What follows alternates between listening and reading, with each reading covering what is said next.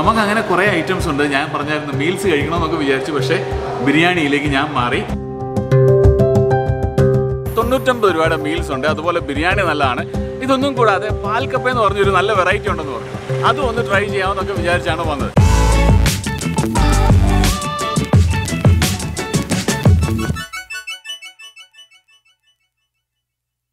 നമസ്കാരം. നമ്മൾ ഈ പ്രാവശ്യം ചങ്ങനാശ്ശേരിയിലാണ്. എന്റെ വീടിന്റെ അടുത്ത് തന്നെയാണ്. എന്റെ ഒരു ഫ്രണ്ട് പറഞ്ഞിട്ട് വന്നതാണ്. ശരിക്കും പറഞ്ഞാൽ അദ്ദേഹത്തിന്റെ ഒരു ഇൻവിറ്റേഷനാണ് കാന്താരി ചിക്കൻ എന്റെ ഫ്രണ്ടിന്റെ ഫ്രണ്ടിന്റെ കടയാണ്. അപ്പോൾ അവിടെ വന്ന് ഉച്ചയ്ക്ക് നല്ല മീൽസ് കിട്ടും. തൊണ്ണൂറ്റമ്പത് രൂപയുടെ മീൽസ് ഉണ്ട്. അതുപോലെ ബിരിയാണി നല്ലതാണ്. ഇതൊന്നും കൂടാതെ പാൽക്കപ്പ എന്ന് പറഞ്ഞൊരു നല്ല വെറൈറ്റി ഉണ്ടെന്ന് പറഞ്ഞു. അതും ഒന്ന് ട്രൈ ചെയ്യാമെന്നൊക്കെ വിചാരിച്ചാണ് വന്നത്. നല്ല ആംബിയൻസ് പാർക്കിങ്ങിന് സ്പേസ് ഉണ്ട്. നമ്മൾ ചേനാശ്ശേരി ബൈപ്പാസിൽ പോകുമ്പോൾ ഇടത്ത സൈഡിൽ തിരുവല്ല ഭാഗത്തേക്ക് പോകുന്നവരാണെന്നുണ്ടെങ്കിൽ ഇടത്ത സൈഡിൽ കാന്താരി ചിക്കൻ റെയിൽവേ സ്റ്റേഷൻ എത്തുന്നതിന് മുമ്പ് തന്നെ കാണാം. ഇങ്ങോട്ട് പോരുന്നതിന് മുമ്പ് ഗൂഗിൾ റിവ്യൂസ് എടുത്ത് ഞാൻ നോക്കിയിരുന്നു. ഫോർ പോയിന്റ് ത്രീ റേറ്റിംഗ് ഉണ്ട്. അതുപോലെ തന്നെ റിവ്യൂസിനകത്ത് പറഞ്ഞിരിക്കുന്നത് നല്ല അഭിപ്രായമാണ്. ഫുഡ് നല്ലതാണ് ആംബിയൻസ് നല്ലതാണ് നല്ല സർവീസ് ആണ് എന്നുള്ള അഭിപ്രായമാണ് കൂടുതലും കണ്ടിരിക്കുന്നത്. ഇനി ഡീറ്റെയിൽ ആയിട്ട് ഞാൻ റിവ്യൂസ് നോക്കിയിട്ട് അതിന്റെ ഭാഗങ്ങൾ നമ്മൾ വീഡിയോയിൽ കാണിക്കാം. ഇപ്പോൾ ഏതായാലും കിച്ചണിൽ കയറി ഫുഡിന്റെ കാഴ്ചകൾ കണ്ട് രുചി നോക്കി അങ്ങ് പോവാം.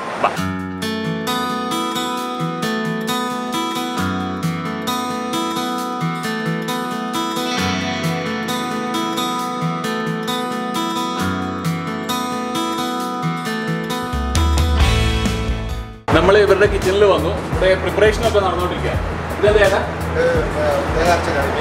തേങ്ങ അരച്ച മീൻ കറി. അത് ചിക്കൻ ആണ്? അല്ലേ?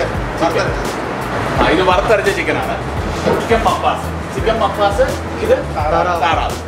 അപ്പം മീന് ചിക്കന് താറാവ് ഇതിന്റെയൊക്കെ പ്രിപ്പറേഷൻ ഈ സൈഡ് നടക്കുന്നു. അപ്പുറത്ത് വേറെ എന്തൊക്കെയോ പ്രിപ്പറേഷൻ ഉണ്ട് നമുക്ക് കാണാം.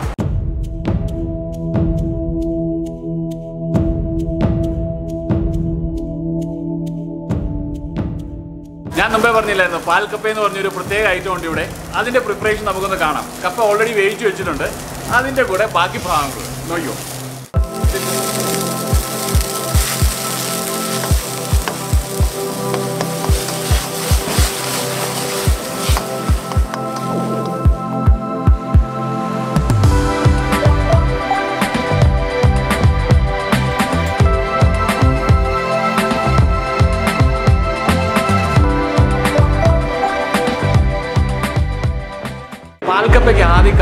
വേവിച്ച് വെച്ചിരിക്കും. അത് കഴിഞ്ഞിട്ട് വെള്ളം ഒഴിച്ച് വെള്ളം തിളപ്പിച്ച് അതിനകത്ത് കറിവേപ്പില ഇട്ട് ഒന്ന് നന്നായിട്ട് തിളച്ച് കഴിയുമ്പോൾ ആ വേവിച്ച കപ്പ അതിനകത്ത് ആഡ് ചെയ്ത് അതിന്റെ പുറത്ത് തേങ്ങാപ്പാൽ ഒഴിച്ച് അതിന്റെ പുറത്ത് സ്വല്പം വെളിച്ചെണ്ണയും കൂടെ ഒഴിക്കും. ഇതെല്ലാം കഴിയുമ്പോഴത്തേന് കടുക് പൊട്ടിച്ച് അതിന്റെ പുറത്ത് ചേർത്ത് നമുക്ക് കഴിക്കാൻ റെഡി ആയിട്ട് നമുക്ക്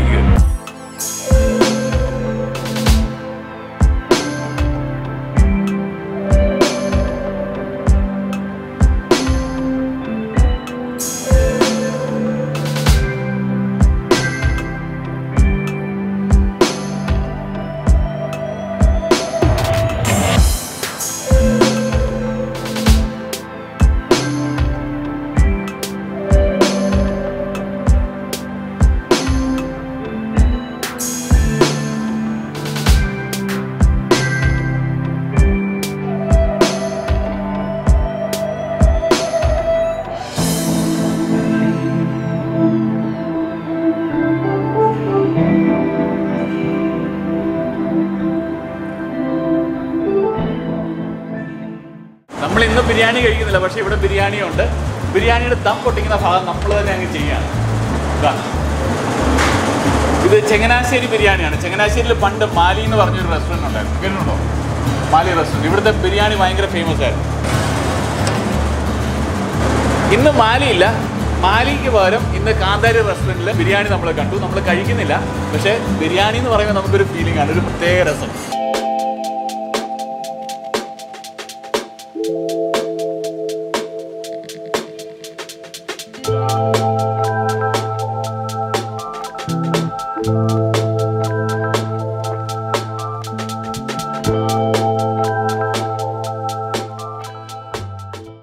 ഒക്കെ കണ്ടു. ഞാൻ ശരിക്കും പറഞ്ഞാൽ മീൽസ് കഴിക്കണമെന്ന് വിചാരിച്ചാണ് വന്നത്. തൊണ്ണൂറ്റൊമ്പത് രൂപയുള്ള മീൽസിന് അത് കഴിഞ്ഞ് ബിരിയാണിയുടെ പ്രിപ്പറേഷൻ കണ്ടിട്ട് എനിക്ക് ബിരിയാണി കഴിക്കണമെന്ന് തോന്നി. കഴിക്കുന്നില്ലെന്ന് വിചാരിച്ചാൽ ആ ബിരിയാണിയുടെ ആ വാസനയൊക്കെ അടിച്ച് കഴിയുമ്പോഴത്തേന് ബിരിയാണിയോട് ഒരു സ്വല്പം ഇഷ്ടം കൂടുതലാണ്. അതുകൊണ്ട് ബിരിയാണി കഴിക്കാമെന്ന് തീരുമാനിച്ചു. ബിരിയാണിയും കുറച്ച് തായ് വെറൈറ്റിയും അതുപോലെ പാൽ കപ്പയും. ഇതാണ് നമ്മൾ ട്രൈ ചെയ്യുന്നത്. പാൽ കപ്പയുടെ കൂടെ മീൻകറിയുണ്ട് അതൊക്കെ കൂട്ടി കഴിക്കാം. ബാ. ഞാൻ മാത്രമല്ല എന്റെ കൂടെ ഏബിളുണ്ട് ഏബിൾ കഴിക്കുന്നത് പുട്ട് നിറച്ചത് ബീഫ് പുട്ട് നിറച്ച ബീഫ് എന്ന് പറഞ്ഞാൽ ശരിക്കും പറഞ്ഞാൽ ഇറച്ചിപ്പുട്ട് തന്നെ. ഇവർ ബീഫ് വെച്ച് പുട്ട് നിറയ്ക്കുകയാണെന്നുണ്ടെങ്കിൽ കുറച്ച് ബീഫ് നമുക്ക് അഡീഷണൽ ആയിട്ട് തരും. കൂടെ കഴിക്കാനായിട്ട്. അപ്പോൾ പുട്ട് നിറച്ചത് ബീഫ് ആണെങ്കിൽ ബീഫ് പുട്ട് നിറച്ചത് ചിക്കൻ ആണ് വേണ്ടതെന്നുണ്ടെങ്കിൽ ചിക്കൻ നിറച്ചിട്ട് ചിക്കൻ ഒരു സ്വല്പം കഴിക്കാൻ തരും. അത് പുട്ട് നിറച്ചത് ചിക്കൻ എന്ന് പറഞ്ഞു തരും. നമ്മളേതായാലും ടേബിളിന് ബീഫ് കഴിക്കണമെന്ന് നിർബന്ധം. അപ്പം പുട്ട് നിറച്ച ബീഫ് ആയിക്കോട്ടെ എന്ന് പറഞ്ഞു. കുറെ തമാശ ഡയലോഗുകളൊക്കെ എഴുതി വെച്ചിരിക്കുന്നത് നിനക്ക് ഇഡലി ദോശ വട ഗർഭ. എനിക്ക് പൊറോട്ടയും ചിക്കനും ഗർഭ. എന്തിനോ വേണ്ടി തിളയ്ക്കുന്ന സാമ്പാർ. ഇതൊക്കെ പണ്ട് പല സിനിമകളിൽ നമ്മൾ കേട്ടിട്ടുള്ള ഡയലോഗുകൾ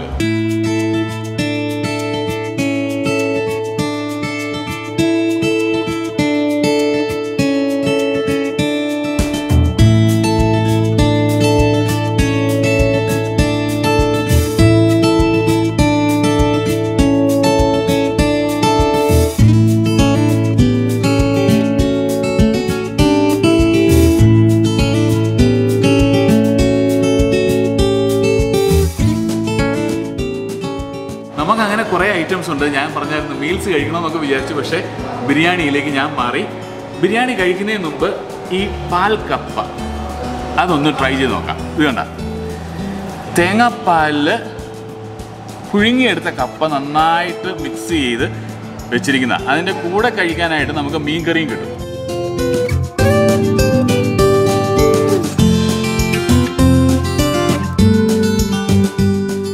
ആ കൂടെ സ്പൂണും ഫോക്കും ഒക്കെ തന്നിട്ടുണ്ട്. നമുക്കത് ഇത് ചിക്കന്റെ ഒരു വെറൈറ്റിയാണ്. സ്റ്റാർട്ടേഴ്സായിട്ട് ഇതുകൂടെ ഒരെണ്ണം നമുക്ക് കഴിക്കാം. പിന്നെ ഞാൻ പറഞ്ഞായിരുന്നു മീൻ കറി ഇതിന്റെ കൂടെ നമുക്ക് കഴിക്കാനായിട്ടുള്ളത് തേങ്ങ അരച്ച മീൻ കറിയാണ്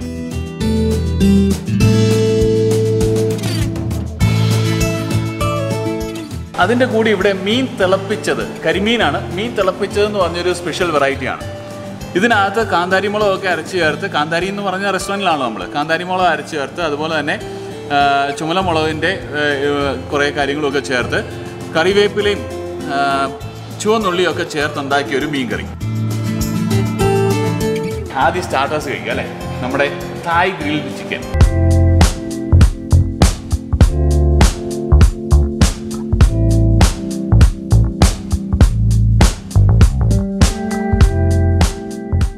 നല്ല സ്വീറ്റ് സോസ് സ്വീറ്റ് സോസ് ആണ്. ചെറിയതായിട്ട് സ്പൈസ് ഉണ്ട്. ഒത്തിരി സ്പൈസ് അല്ല. ആ നമുക്ക് സ്വല്പം ആ എരിവ് തോന്നും. പക്ഷേ നല്ല സ്വീറ്റ് സോസ് ആണ്.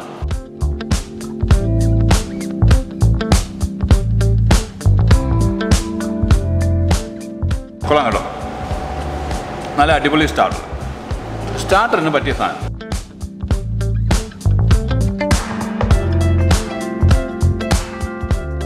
ഇതിൽ ആ സോസിന്റെ സ്വീറ്റ്നെസ് ആണ് ഏറ്റവും കൂടുതൽ എടുത്തു പറയാനുള്ളത്.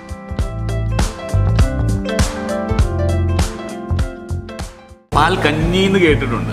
പക്ഷെ പാൽ കപ്പ ആദ്യമാണ് കഴിക്കുന്നത്. നമുക്ക് ആ മീൻചാറും കപ്പയും കൂടെ മിക്സ് ചെയ്ത് കഴിക്കാം. ഒരു ലേശം മീൻചാറ് ഇതാ. കറിവേപ്പിലയൊക്കെ കിടപ്പുണ്ട്. കറിവേപ്പിലയുടെ കൂടെയും കഴിക്കാം.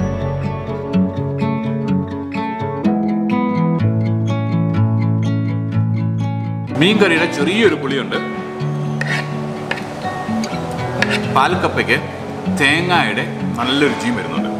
കപ്പ എന്തായാലും കപ്പയുടെ രുചിയുണ്ട്. അതുകൂടാതെ ആ തേങ്ങാപ്പാലിന്റെ ഒരു രുചിയുണ്ടല്ലോ ആ രുചിയും വരുന്നു ഇതിന്റെ കൂടെ കഴിക്കാനായിട്ട് അവർ തേങ്ങാ ചമ്മന്തിയും അച്ചാറും സാലഡും ഒക്കെ വെച്ചിട്ടുണ്ട്. റൈത്ത ഞാൻ ചില തേങ്ങാ ചമ്മന്തി എടുത്തു. നമുക്ക് വേണമെന്നുണ്ടെങ്കിൽ ഒരു സ്വല്പം കൂടെ ഉപ്പാവാം. എനിക്കൊരു സ്വല്പം ഉപ്പ് കുറഞ്ഞായിട്ടാണ് തോന്നുന്നത് അതായാലും നല്ലതാണ്. ഉപ്പ് അധികം വേണ്ടാത്തവർക്ക് കഴിക്കാനായിട്ട് കൊള്ളാം. ഉപ്പ് വേണമെന്നുണ്ടെങ്കിൽ നമുക്ക് ആഡ് ചെയ്താൽ മതി. സ്വല്പം മീനിന്റെ കഷ്ണം ഒന്ന് പൊട്ടിച്ചിട്ട് അത് ഈ കപ്പയുടെ കൂടെ മിക്സ് ചെയ്ത്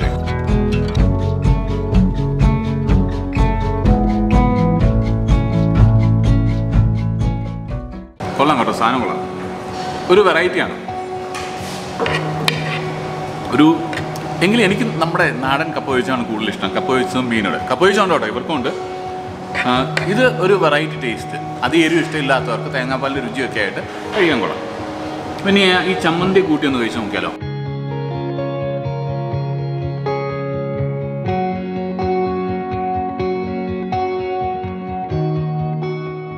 ചമ്മന്തിയുടെ കൂടെ കൊള്ളാം കേട്ടോ. ചമ്മന്തിക്ക് ലേശം പുളിയും എരിവും ഒക്കെ ഉണ്ട്. ഞാനൊരു പക്ക നാടനാണ്. അപ്പോൾ ഈ നാടൻ ഫുഡിന്റെ രുചിയാണ് കുറച്ചുകൂടി എനിക്കിഷ്ടം. മറ്റു രുചികൾ ഞാൻ എൻജോയ് ചെയ്യും. എന്തായാലും എൻജോയ് ചെയ്യും. രുചി എന്തായാലും എൻജോയ് ചെയ്യും. പക്ഷേ നാടൻ എന്ന് പറയുമ്പോൾ ഒരു പ്രത്യേക അറ്റാച്ച്മെന്റ്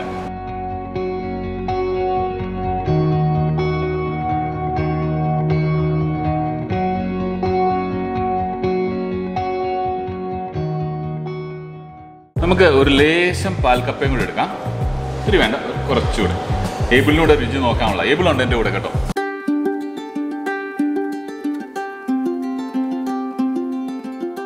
ഇപ്രാവശ്യം നമ്മൾ മീൻ കറി എടുക്കുന്നില്ല. മീൻ തിളപ്പിച്ചത്. ഇത് മീൻ തിളപ്പിച്ചതെന്ന് പറഞ്ഞ സാധനമാണ്. ഇതിനകത്ത് കരിമീനാണ് താരം. മുള്ളു നോക്കണേ. കരിമീനാണ്. ഏബിളൂടെ കഴിക്കുന്നതുകൊണ്ടാണ് ഞാൻ ഫോക്ക് കൊണ്ട് ഒരു സ്വല്പം ദശ എടുക്കുന്നത്. അല്ലെന്നുണ്ടെങ്കിൽ കൈ കൊണ്ട് എടുക്കായിരുന്നു. പിന്നെ ആ മീൻ തിളപ്പിച്ചതിന്റെ ആ ഉള്ളി ചുവന്നുള്ളിയാണ്. ചുവന്നുള്ളിയും മറ്റു മസാലകളും കറിവേപ്പില എല്ലാം കൂടെ കൂട്ടി ഒരു സ്വല്പം അങ്ങോട്ട് ഒഴിച്ചു. മീൻ കഴിക്കുന്നതിന് മുമ്പ് ഈ മസാല കൂട്ടി നമുക്ക് നമ്മുടെ കപ്പ കഴിക്കാം.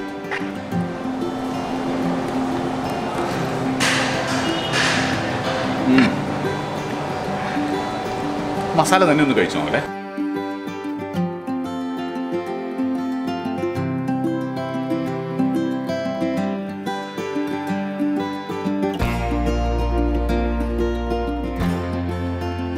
ചുവന്നുള്ളിയുടെ രുചിയാണ് നന്നായിട്ട്. ആ ചുവന്നുള്ളിയുടെ ഒരു ഗ്യാസ് ഒക്കെ ഇല്ലേ?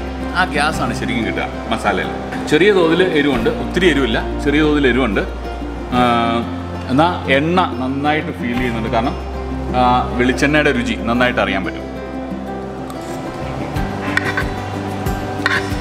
കൊള്ളാം കേട്ടോ.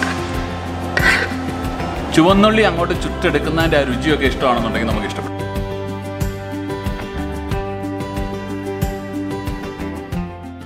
ഞാനൊരു സ്വല്പം മീനിന്റെ കഷ്ണം വെച്ചിട്ടുണ്ട്. ആ മീനിന്റെ കഷ്ണവും ഇതും കൂടെ കൂട്ടി അങ്ങോട്ട് കഴിക്കാം.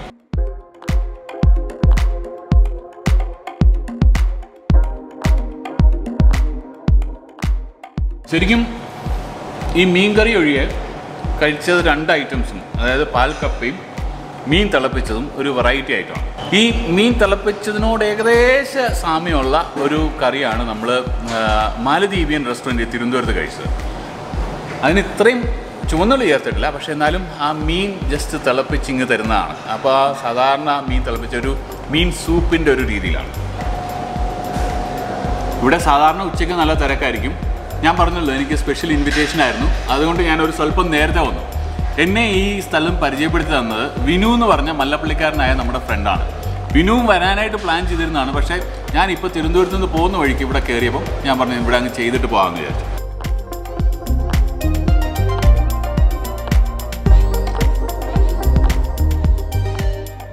ഞാൻ പറഞ്ഞതെന്നു വെച്ചാൽ പന്ത്രണ്ടരയ്ക്ക് മുമ്പാണ് ഞാൻ വന്നിരുന്ന് കഴിക്കുന്നത്. ഇവിടെ ഫുഡിന് സമയം തുടങ്ങുന്നത് പന്ത്രണ്ടര മുതലാണ്. ഞാൻ നേരത്തെ വന്നു ഇപ്പോൾ സമയം പതിനൊന്ന് മുക്കാലായതേ ഉള്ളൂ.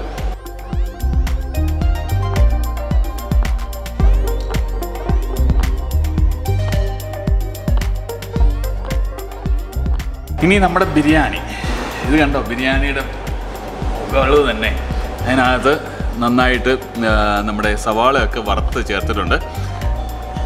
കപ്പലണ്ടി കശുവണ്ടി ഉണ്ട്. അതുകൂടാതെ നമ്മുടെ കിസ്മിസ്. കിസ്മിസും വറുത്തിട്ടുണ്ട്. ഇവരോട് ഞാൻ ചോദിച്ചിരുന്നു ഇവിടെ സാധാരണ പൈനാപ്പിൾ ചേർക്കുമെന്ന് ചോദിച്ചു. ഇവർ പൈനാപ്പിളോ എസൻസോ അങ്ങനെയൊന്നും ചേർക്കില്ല എന്നാണ് പറഞ്ഞത് നമുക്ക് കഴിച്ചു നോക്കാം. ചില സ്ഥലങ്ങളിൽ പൈനാപ്പിൾ ചേർക്കാറുണ്ട്. ചില സ്ഥലങ്ങളിൽ പൈനാപ്പിൾ ചേർക്കാറില്ല. ഓരോ സ്ഥലത്തിന്റെയും അവരുടേതായ രീതികളാണ്.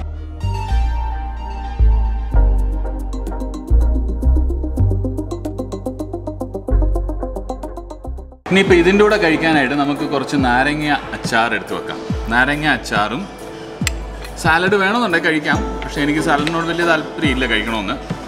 എനിക്ക് ഇത് താല്പര്യമാണ്. പപ്പടം നാരങ്ങ അച്ചാർ ബിരിയാണി. നമ്മുടെ ഫ്രണ്ട്സ് സാറിന് ചോദിക്കാറുണ്ട് എബിൻ ചേട്ടൻ എവിടെ ചെന്നാലും ബിരിയാണി കിട്ടുമല്ലോ? ബിരിയാണി ഞാൻ പറഞ്ഞില്ല എനിക്ക് ബിരിയാണിയോട് സ്വല്പം കൊതി കൂടുതലാണ്. ബിരിയാണി ഇഷ്ടമാണ്. പണ്ട് കുട്ടിക്കാലത്തുണ്ടല്ലോ ബിരിയാണി എന്ന് പറയുന്നത് വളരെ ചുരുക്കമായിട്ട് കിട്ടുന്നതാണ്. ഏതെങ്കിലും കല്യാണ വീടുകളിലൊക്കെ പോകുമ്പോൾ മാത്രമാണ് ബിരിയാണി കിട്ടുക. അപ്പോൾ ആ ബിരിയാണിയുടെ രുചി ഓ ഒന്നും പറയണ്ട. നമുക്ക് ചിക്കന്റെ ഒരു പീസ് ചെറുതായിട്ടുണ്ട്. അതൊന്ന് എടുത്ത് ഇതിന്റെ കൂടെ വെച്ച് അതിന്റെ കൂടെ നമ്മുടെ നാരങ്ങ പിക്കിൾ ഒന്ന് തൊട്ട് അങ്ങോട്ട് അങ്ങോട്ട് വെച്ചിട്ട് ഇത് അങ്ങോട്ട് കൂട്ടി അങ്ങോട്ട് പിടിക്കുക.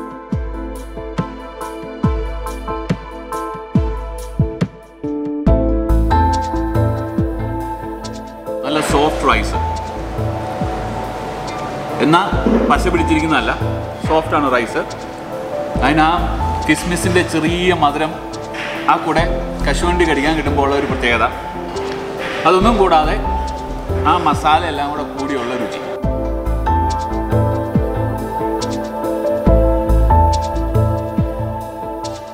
ചില സ്ഥലങ്ങളിൽ ബിരിയാണിക്കകത്ത് മുട്ടയുണ്ടാവും പക്ഷേ ഇവിടെ ബിരിയാണിയുടെ കൂടെ മുട്ടയില്ല.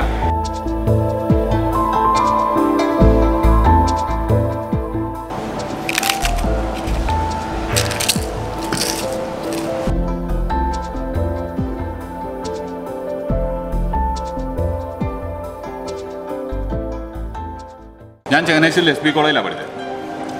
ഞാൻ പഠിക്കുന്ന സമയത്ത് ഇവിടെ മാലി എന്ന് പറഞ്ഞൊരു റെസ്റ്റോറന്റ് ഉണ്ട്. നല്ല അടിപൊളി ബിരിയാണിയായിരുന്നു ഇത് നല്ല ബിരിയാണിയാണ് കേട്ടോ. പക്ഷേ ആ റെസ്റ്റോറന്റ് ഇന്നില്ല. ആ മാലി റെസ്റ്റോറന്റിൽ ബിരിയാണി കഴിച്ച ആ ഓർമ്മ ഇപ്പോഴും മനസ്സിലുണ്ട്. നിങ്ങൾ ആരെങ്കിലും അവിടെ ബിരിയാണി കഴിച്ചിട്ടുണ്ടോ? നിങ്ങൾക്ക് ഇഷ്ടമായിരുന്നു? അത് താഴെ കമന്റിൽ പറയാം. അതേപോലെ തന്നെ കാന്താരി റെസ്റ്റോറന്റിൽ നിങ്ങൾ വന്ന് കഴിച്ചിട്ടുണ്ടോ? നിങ്ങൾക്ക് ഇവിടുത്തെ അനുഭവം എങ്ങനെ ഉണ്ടായിരുന്നു എന്ന് പറയാം. ഇവിടെ കഴിച്ച ബിരിയാണിയുടെ രുചി എനിക്ക് ഇഷ്ടപ്പെട്ടു. അതേപോലെ മീൻ കറി നല്ലതായിരുന്നു. പാൽ കപ്പ ഒരു വ്യത്യസ്തമായ രുചിയായിരുന്നു. അതേപോലെ ഇത് ഇതിനും ഒരു വ്യത്യസ്ത ടേസ്റ്റ് ഉണ്ടായിരുന്നു. ഒരു ഡിഫറെന്റ് ഫീൽ അപ്പം ഞങ്ങൾ ഫുഡൊക്കെ കഴിച്ച് എൻജോയ് ചെയ്തു പോകുന്നു. ഇനി ഏബിളിന് ഫുഡ് കഴിക്കാനുണ്ട്. ഏബിളിനോടും അഭിപ്രായം ചോദിക്കാം. ഏബിൾ ഫുഡ് കഴിക്കട്ടെ. അത് കഴിഞ്ഞിട്ട് ഇവിടെ എന്തെങ്കിലും സ്പെഷ്യലായിട്ട് കുടിക്കാൻ എന്തെങ്കിലും ഉണ്ടോ എന്ന് ചോദിച്ചാൽ അതും കുടിച്ചിട്ട് നമുക്ക് വീഡിയോ നിർത്താം.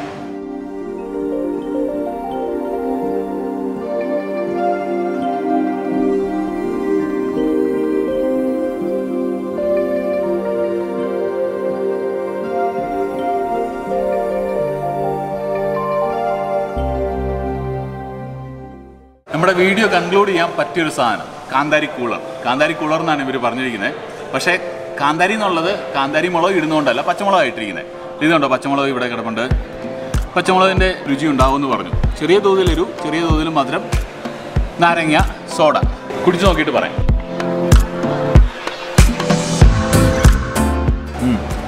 ചെറിയ തോതിൽ മധുരമല്ല നല്ല മധുരമുണ്ട്. എരിവ് ചെറിയ തോതിൽ നമുക്ക് ഫീൽ ചെയ്യും. ആ പച്ചമുളകിന്റെ ഒരു ഒരു ചെറിയ ഫ്ലേവർ ഉണ്ടല്ലോ അത് കിട്ടും. ചെറുതായിട്ടൊരു ഉപ്പുമുണ്ട്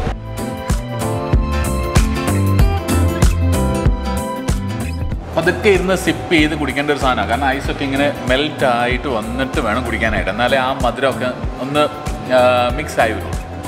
അപ്പോൾ ഇതൊക്കെയാണ് കാന്താരിയിലെ നല്ല എരിവുള്ള വിശേഷങ്ങൾ ഇനി പുതിയ വീഡിയോ ആയിട്ട് നമ്മൾ ഉടനെ തന്നെ വരുന്നതാണ്. നിങ്ങൾ കാണുക നിങ്ങളുടെ അഭിപ്രായങ്ങൾ പറയുക. എന്ന് ഞങ്ങളോട് ഉണ്ടാവുക. സന്തോഷമായി തൽക്കാലത്തേക്കിന് ബൈ